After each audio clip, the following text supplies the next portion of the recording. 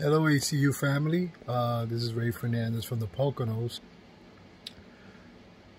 uh, talking about what a literature review is. Um, basically a, little, a literature review, excuse me, is uh, not only a tongue twister, but it's basically a survey of a uh, of different research, um, books, even theses in regards to a topic that you have chosen to write about.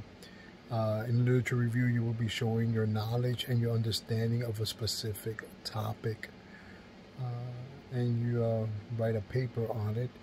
Uh, so in order for you to uh, be able to uh, research the topic, there are different um, journals, different um, books, online website information and you have to gather all that information.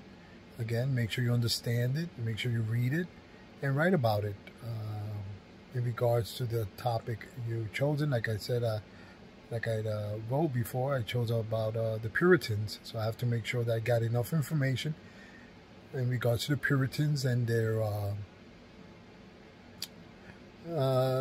their they're affecting uh, American life and culture and politics and all that good stuff. And make sure I understand why the contributions are important and make sure I have knowledge of it.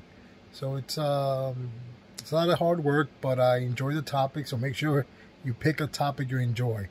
Do not pick a topic that you you just want to uh, just go through emotions for. Make sure it's a topic that's dear to your heart, and it makes all this research uh, easier to do. But remember the key to a literature review is uh, understanding.